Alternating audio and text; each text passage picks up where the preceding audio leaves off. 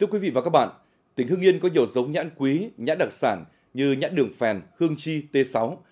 Những năm gần đây, nhãn Cùi Vân được nhiều thực khách chọn mua, thưởng thức. Cùi Vân là giống nhãn có từ lâu đời tại xã Hạ Lễ, huyện Ân Thi, cho giá trị kinh tế cao nên hiện đang được người dân bảo tồn, mở rộng diện tích. Được biết đến là người có công lưu giữ bảo tồn giống nhãn Cùi Vân. Năm 1994, ông Đỗ Đức Kha ở thôn 3 xã Hạ Lễ đã khép cải tạo được 20 cây nhãn cổ Cùi Vân của địa phương.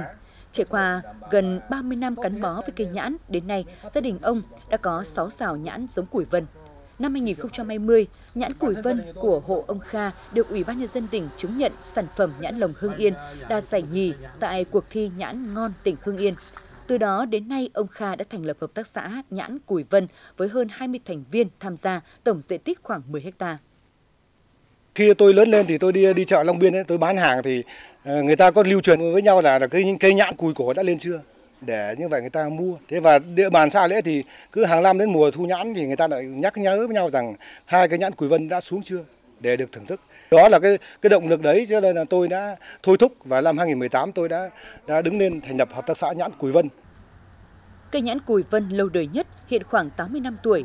Giống nhãn này có đặc điểm cùi dày, trắng trong, hơi ngà vàng. Đến thời điểm chín, cùi giáp ăn giòn, vị ngọt đậm đà, đặc biệt mang hương vị đặc trưng của giống nhãn truyền thống.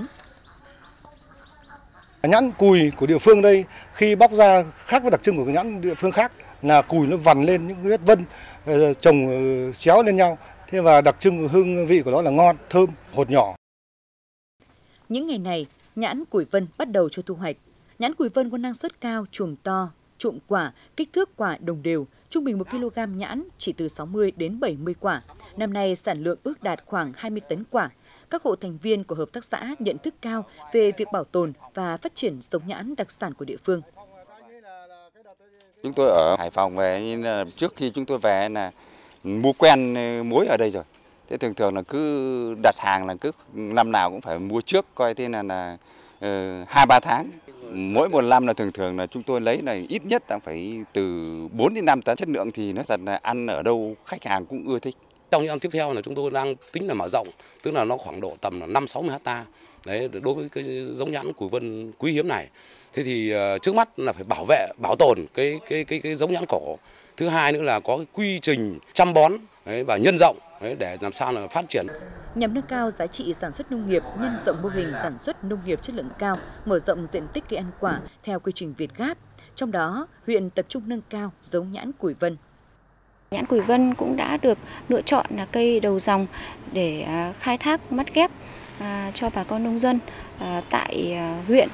Chúng tôi cũng đang khuyến khích bà con nông dân là kép cải tạo thay thế những vườn tạp bằng những giống nhãn Củi Vân. Nhãn Cùi Vân là giống nhãn được bảo tồn, công nhận giống chuẩn để nhân giống. Nhãn Cùi Vân được cấp có thẩm quyền cấp bảo hộ nhãn hiệu, từ đó việc bảo tồn nhân rộng giống nhãn đặc sản của địa phương vừa đẩy mạnh xúc tiến tiêu thụ, góp phần nâng cao giá trị nông sản, giá trị kinh tế cho người dân.